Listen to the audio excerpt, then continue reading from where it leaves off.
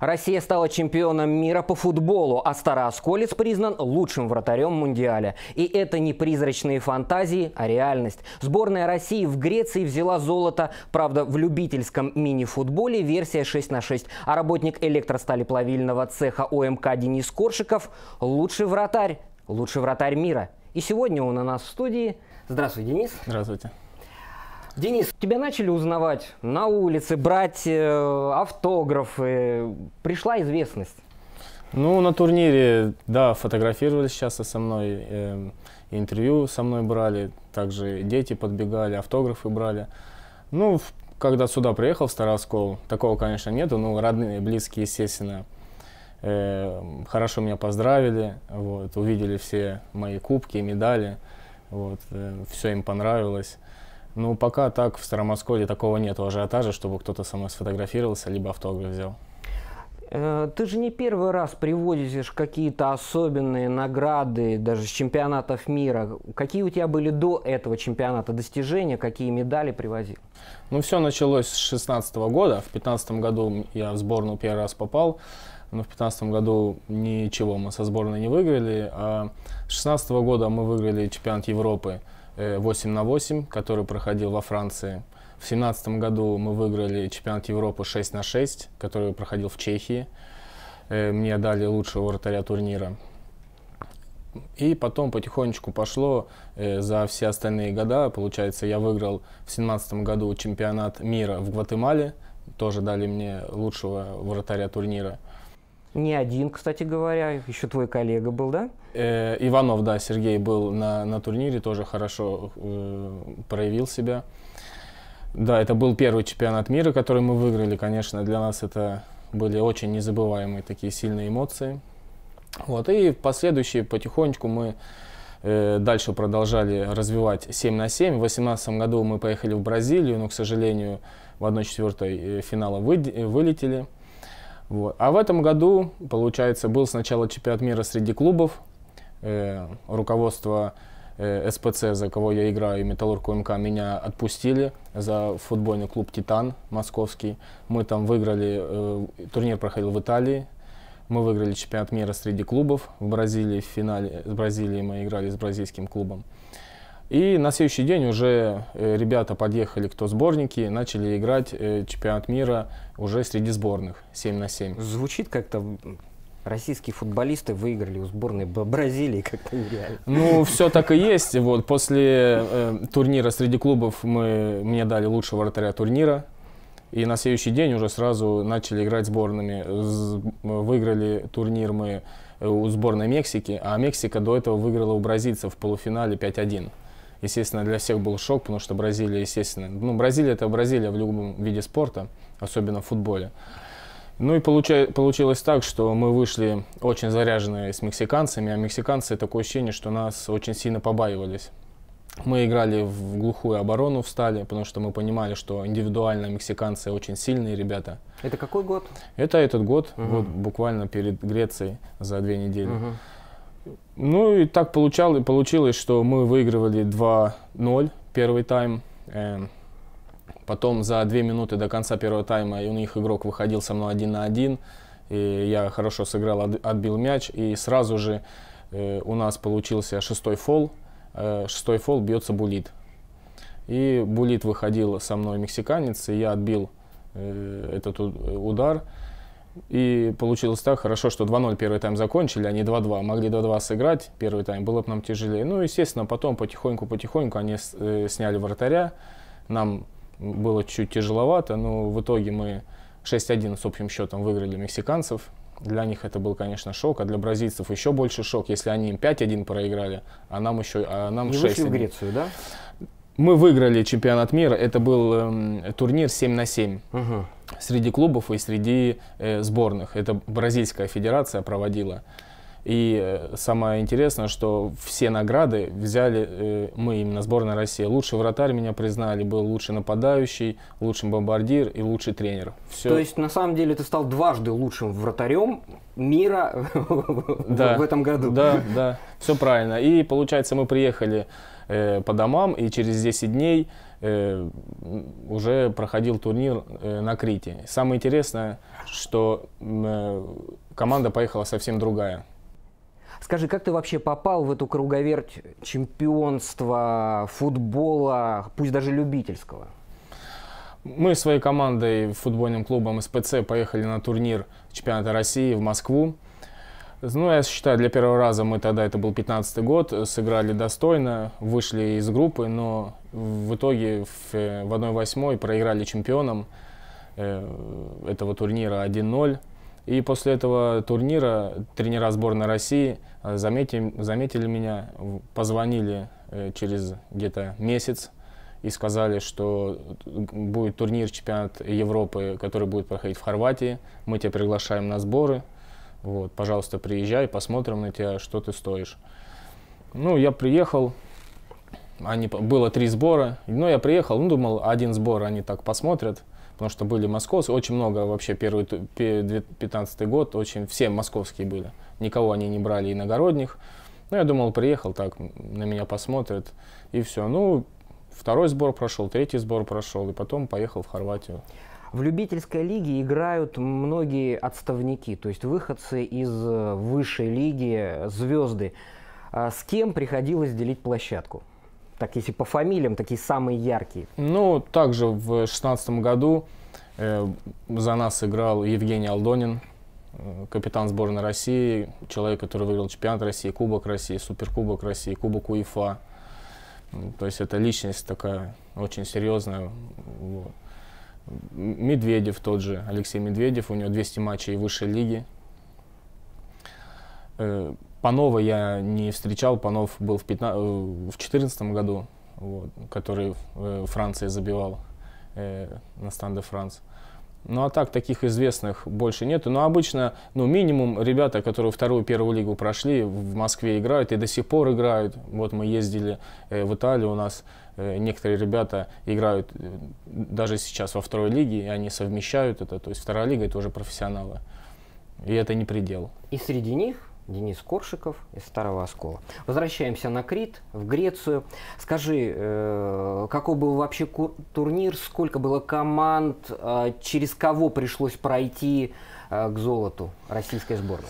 Турнир, сразу скажу, был организован, ну это, наверное, один из самых лучших турниров, э, где я участвовал. Было 40 команд. Из, э, когда открывали э, турнир этот, присутствовал премьер-министр Греции Э, то есть такие люди очень высокого э, ранга присутствовали.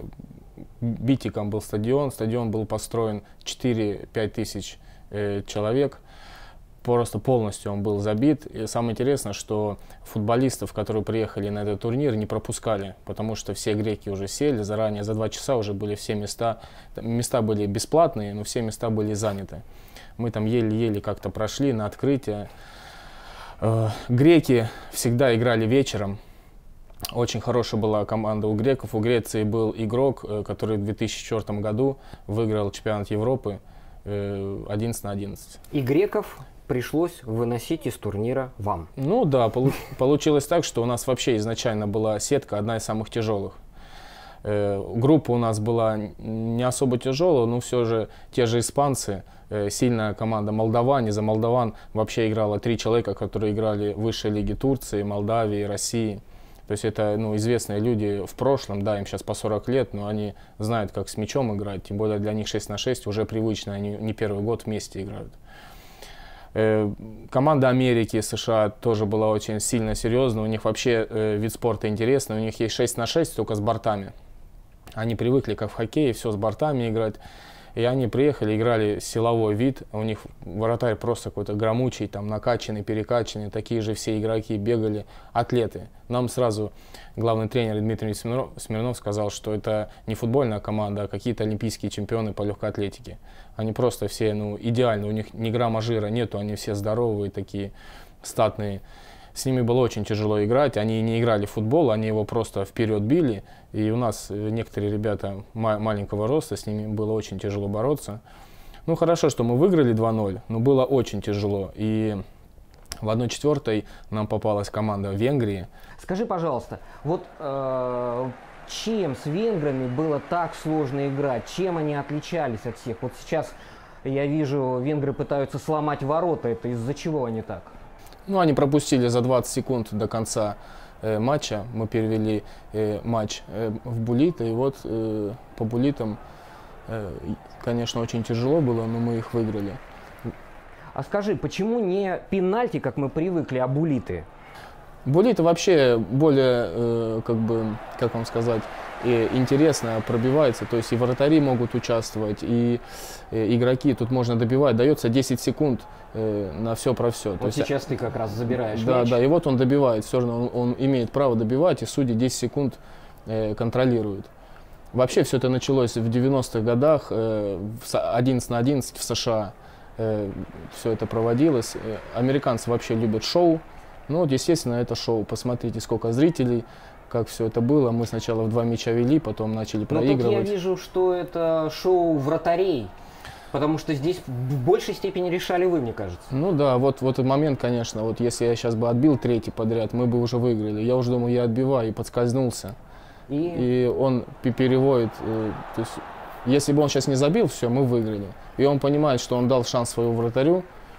И вот э, А получ- тяжело после такого восстанавливаться? Вот казалось, ты мог поставить точку и все. Да.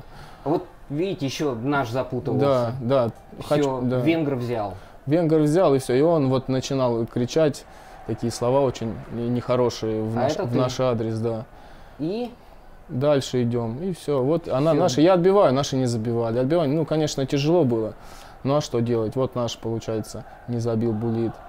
Ну, у них э, хороший вратарь у у венгров. шли ноздря в ноздрю, я так понимаю. Да, шли ноздря в ноздрю. Уже психологически был такой момент, кто будет бить. У нас очень многие ребята тяжело им было. Дрогнули? Да, дрогнули. И вот момент, когда нам забивают, и все. нам надо выходить, обязательно забивать. Если Мгм. мы не забиваем, и вот э, наш капитан Руслан Сафаров решил попробовать. Решает. Да, решает и переводит. Причем запасной вратарь. Да. Человеку 40 лет, молодец, капитан команды, старался как можно, подбадривал. Вот твое. Да, тут уже понятно, он мимо бил, все уже, Понятно. я его уже, грубо говоря, съел.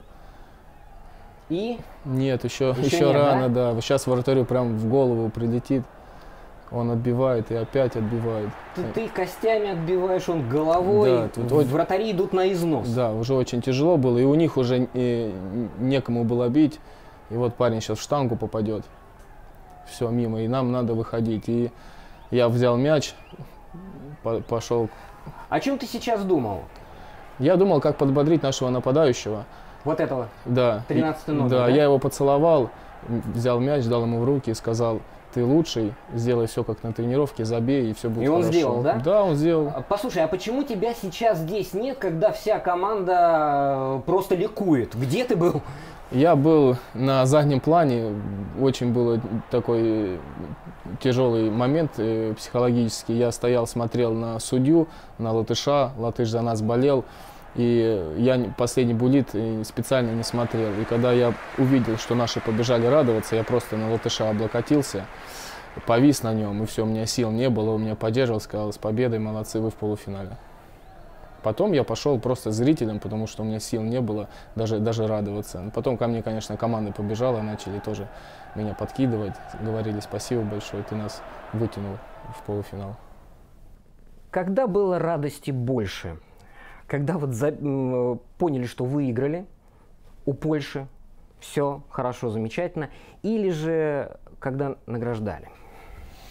Ну, конечно, когда выиграли, такие эмоции.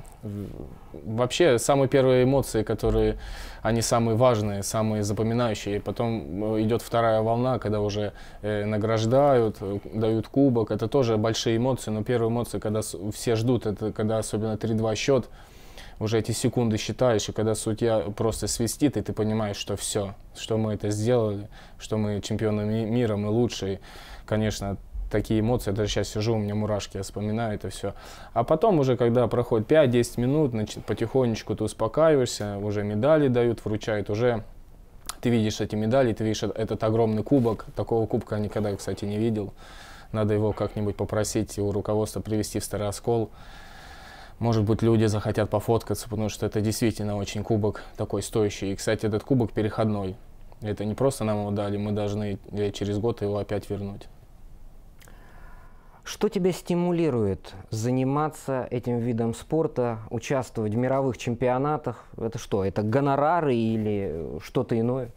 Вообще, честно, конечно, люблю футбол, э, разные виды спорта, 11 на 1, 6 на 6, 7 на 7, 8 на 8, то есть 4, это, это все разные виды спорта.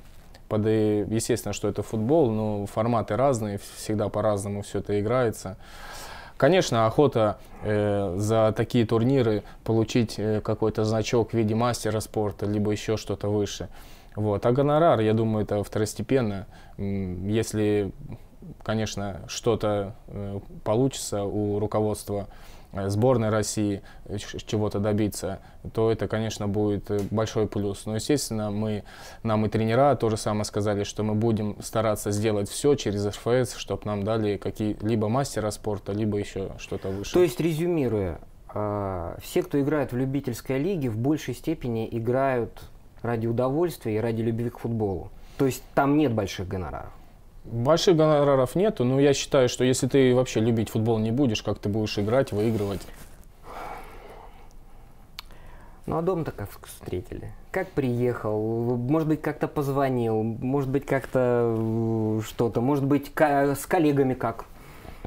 Ну, дома встретили очень хорошо, конечно, я добирался тяжеловато. Э, многие ребята с Москвы, многие э, ребята иногородние, но они все на самолетах полетели, потому что э, дагестанцы на самолете летели, питерцы на самолете, а мне пришлось э, поезда не было в это время, когда мы приехали. Уже пришлось ехать на машине, заказывал на Блаблакар машину с этим, с кубком, с сумками, сел, поехал. Еще машина наша русская, 14 попалась, места мало.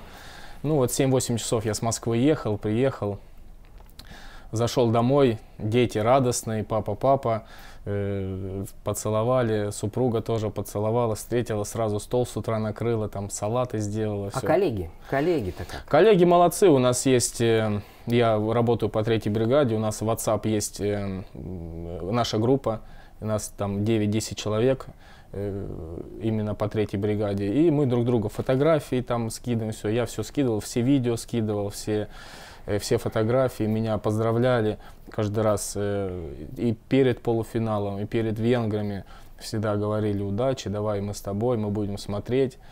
И бригадир вообще любит у меня футбол, очень часто смотрит, переживает. И после финала он чуть ли один не первый поздравил, сказал, молодец, я смотрел. Бригадиры, бригада, и мало кто знает, что лучший вратарь мира Денис Коршиков, ковшевой, промковшей в электросталеплавильном цехе Оскольского электрометаллургического комбината. А Правильно. А если сейчас просто снять тему футбола, расскажи о своей работе.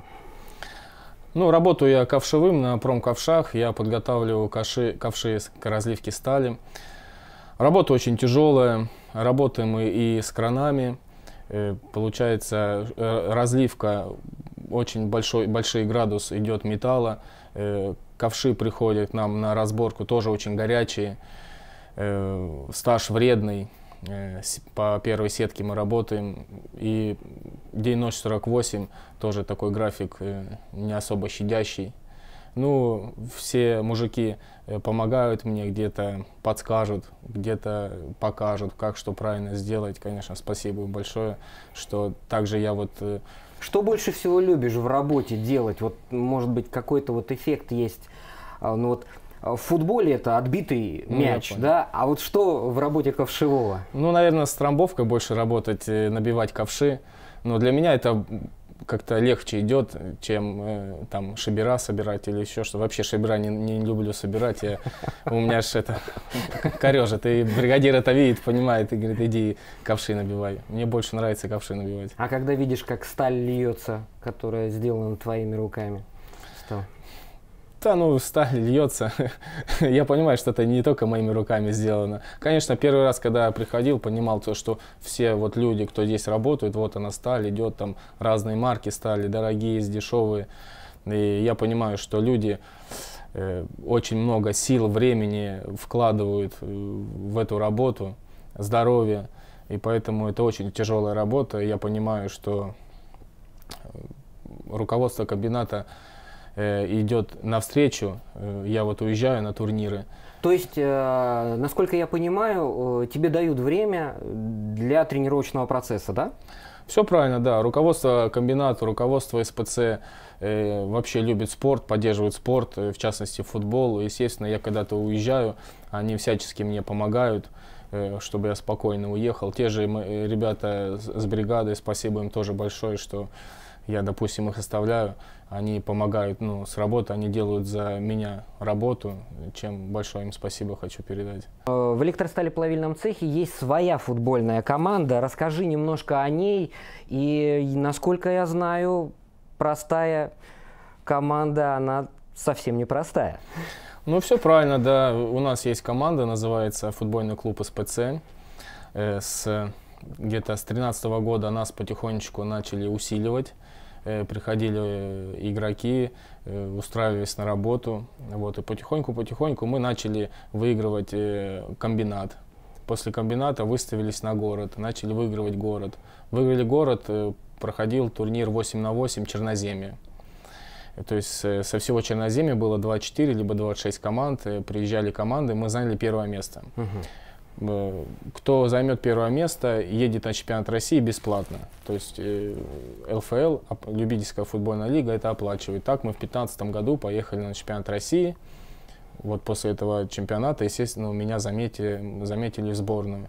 А в том году, вот потихоньку мы ездили-ездили, в том году мы выиграли чемпионат России. То есть команда Старого Оскола, футбольный клуб СПЦ. Э, он проходил в Сочи, да? Проходил в Сочи в том году, да. Чуть-чуть, правда, пораньше, чем сейчас будет. Мы выиграли чемпионат России. У, там были у, и питерские команды, и московские команды, и московские команды, где были тоже игроки, поиграли, и до сих пор действующие игроки, которые играют во второй, в первой лиге. Мы выиграли этот турнир. У нас э, мне дали лучшего вратаря турнира, э, Иванову Сергею дали лучшего э, нападающего турнира, и Васильеву Сергею лучший игрок турнира признали. То есть столевары Оскола оказались им не по зубам? Нет. А скажи честно, а есть ли у команды электростали плавильного цеха свое секретное психологическое оружие, которое вы применили в Сочи и победили при помощи этого оружия в финале? Ну, у нас есть э, танец такой. И снова седая ночь. ночь. Да, все правильно, да. И, и, и только по... ей доверяю да. я. Получается, э, последний день турнира э, у нас, э, то есть не было полуфинала, а был финал трех. То есть, если ты первую игру выигрываешь, ты попадаешь в финал в угу. трех, то у тебя уже минимум третье место есть. И нам попалась московская команда, одна из самых сильных. Я не знаю, почему так, но нам всегда в плей-офф попадается прямо вот перед медалями одни из самых сильных команд. И мы сыграли в ничью с ними, и по пенальти мы их выиграли. Там тоже пенальти уже э, там по 7 или по 6 пенальти мы, мы били, уже на больше-меньше пошло. И даже ты бил, да? Нет, я не бил. Я не бил. вот. Ну и получилось, получилось так, что мы вышли уже, в, э, все, уже мы в тройке. И у нас еще две игры, и нам буквально дали полчаса отдохнуть, и мы сразу вторую игру начали играть.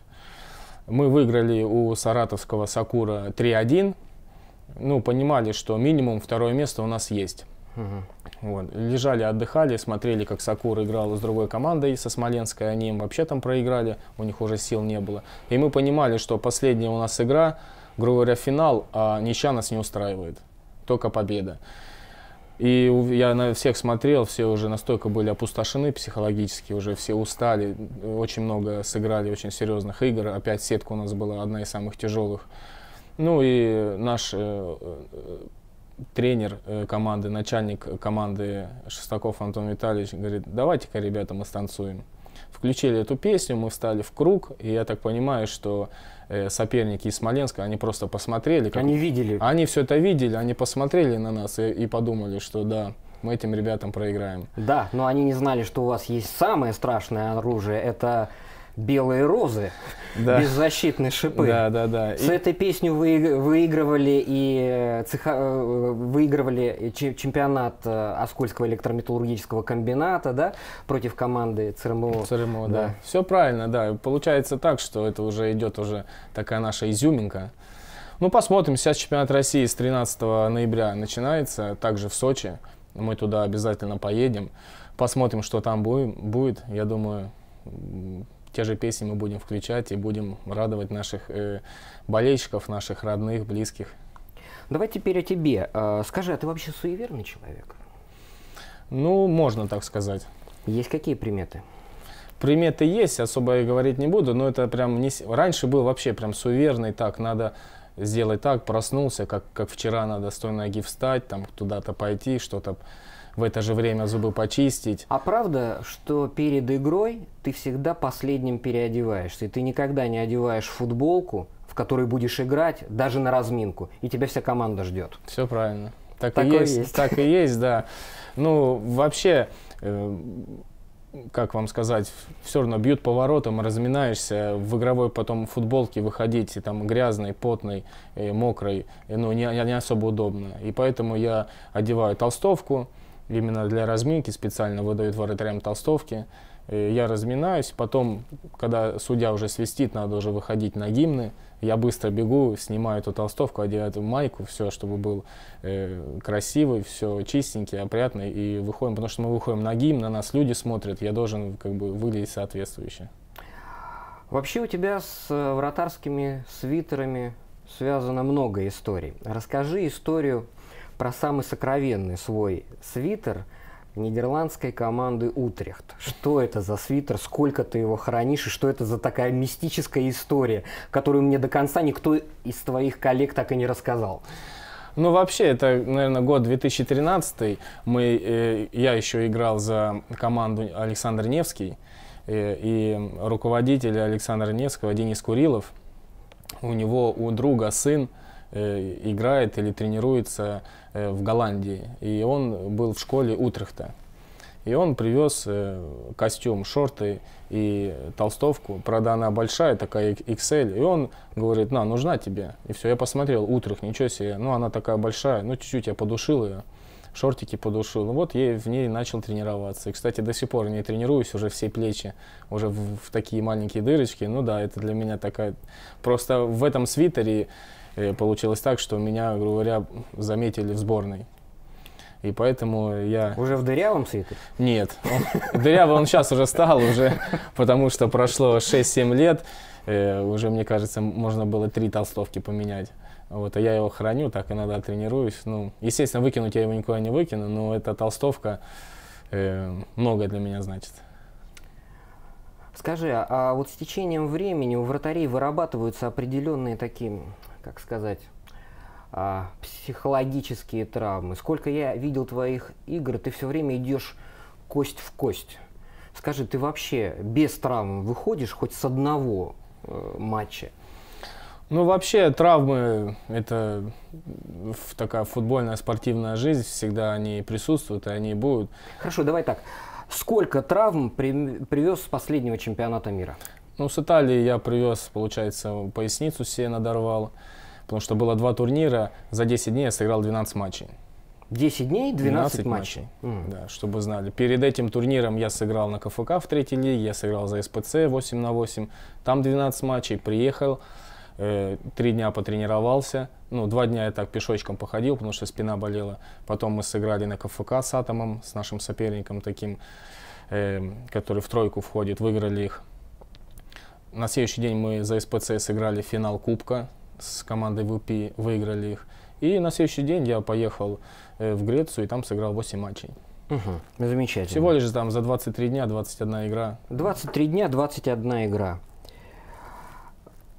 Для того, чтобы так играть, наверное, какие-то особые ценности в жизни нужно иметь. Что для лучшего вратаря мира и ковшевого Дениса Коршикова самое ценное в жизни?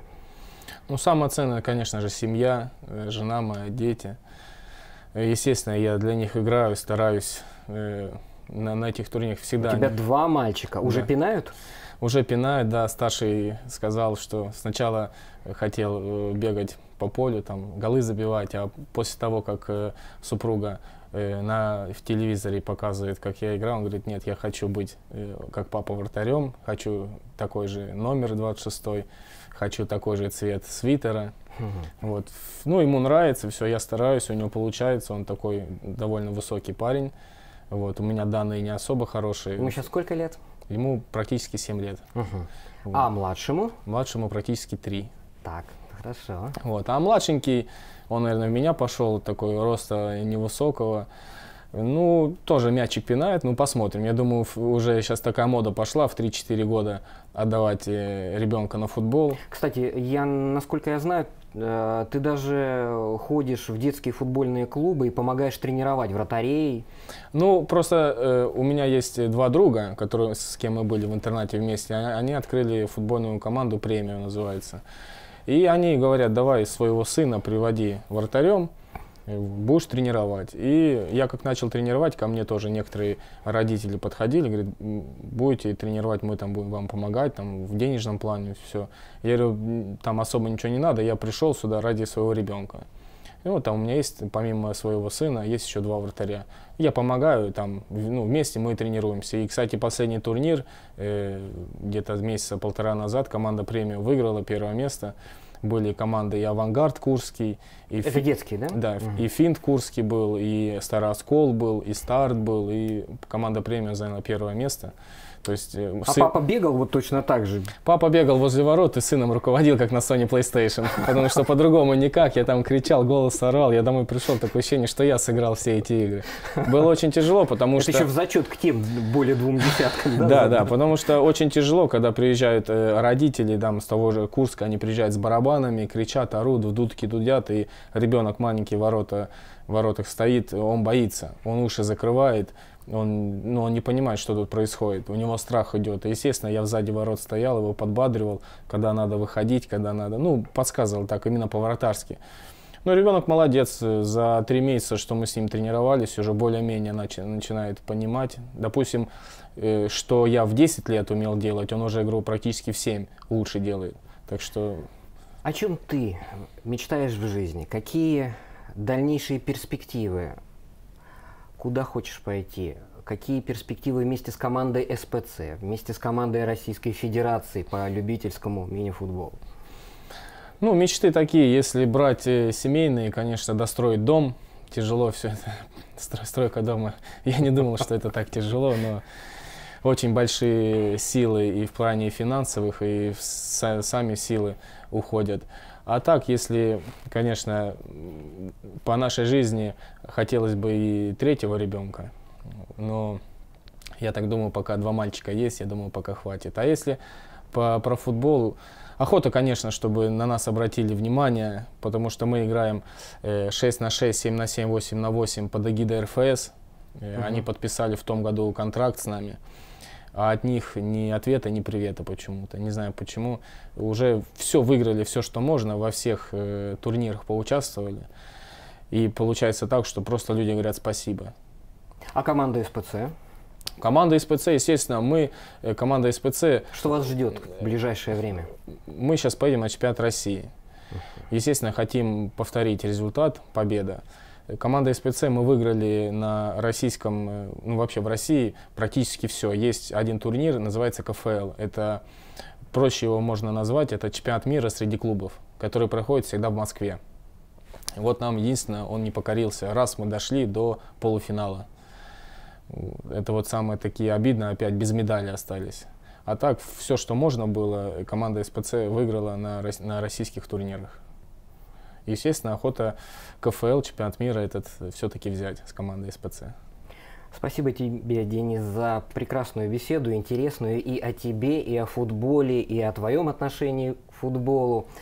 А, Желаю тебе успехов, чтобы все успехи проходили с- хотя бы с минимальным количеством травм.